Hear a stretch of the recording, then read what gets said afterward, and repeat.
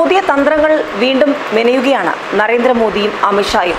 രാജ്യസഭയിലും ഭൂരിപക്ഷം തികയ്ക്കാനുള്ള ചരടുവലികൾ നീക്കങ്ങൾ തുടങ്ങിക്കഴിഞ്ഞിരിക്കുന്നു. ഇതോടുകൂടി ഇനി പ്രതിപക്ഷത്തിന്റെ ആവശ്യമില്ലാതെ തന്നെ കാര്യങ്ങൾ ശക്തമായി മുന്നോട്ട് കൊണ്ടുപോകാൻ നരേന്ദ്രമോദിക്കും ഭരണപക്ഷത്തിനുമാകും. രാജ്യസഭയിലും ഭൂരിപക്ഷം നേടാൻ നരേന്ദ്രമോദി ശ്രമങ്ങൾ തുടങ്ങിക്കഴിഞ്ഞു.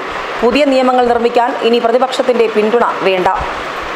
നരേന്ദ്രമോദിയുടെ രണ്ടാം ഊഴത്തിൽ രാജ്യസഭയിലും ഭൂരിപക്ഷം ഉറപ്പിക്കാനുള്ള കണക്കുകൂട്ടലിൽ തന്നെയാണ് എൻ ഡി എ.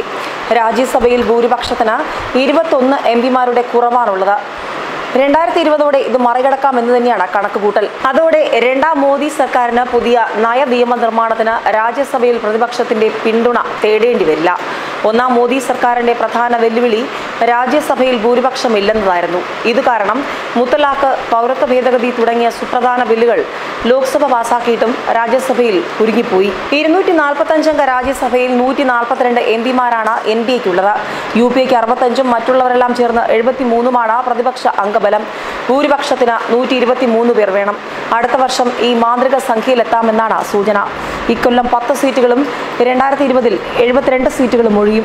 എഴുപത്തിരണ്ടിൽ അൻപത്തഞ്ച് സീറ്റ് ഏപ്രിലും അഞ്ചെണ്ണം ജൂണിലും ഒരെണ്ണം ജൂലൈയിലും പതിനൊന്നെണ്ണം നവംബറിലുമാണ് ഒഴിയുക. ഇതെല്ലാം ബി ജെ പിക്ക് ജയിക്കാവുന്നതാണ്. ഇക്കൊല്ലം മഹാരാഷ്ട്ര ഹരിയാന ജാർഖണ്ഡ് അസംബ്ലി തിരഞ്ഞെടുപ്പിൽ ജയിച്ചാൽ അടുത്ത വർഷം നവംബറോടെ ബി ജെ പിക്ക് രാജ്യസഭയിൽ ഭൂരിപക്ഷം ലഭിക്കും.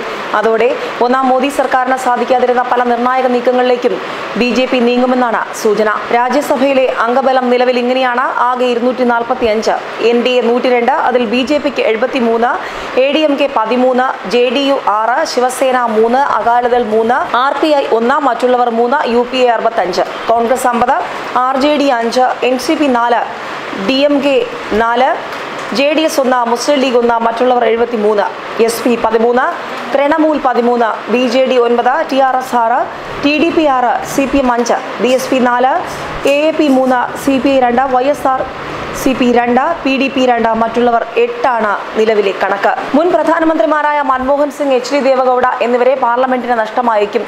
ലോക്സഭാ തെരഞ്ഞെടുപ്പിലെ പരാജയമാണ് ദേവഗൌഡയ്ക്ക് അവസരം നഷ്ടമാക്കിയത്. കാലാവധി തീരുന്നതാണ് മൻമോഹൻ തടസ്സം. അസമിൽ നിന്നുള്ള രാജ്യസഭാംഗമായ മൻമോഹനെ തുടർന്നും അവിടെ നിന്ന് നയിക്കാൻ കോൺഗ്രസിന് സാധിക്കില്ല. ന്യൂസ് ഡെസ്ക് മലയാളി വാർത്ത.